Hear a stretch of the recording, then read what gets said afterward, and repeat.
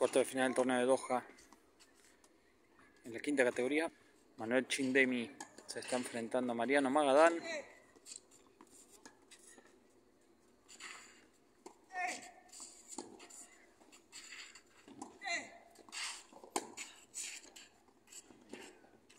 Manuel saca 1-5 en el primer set.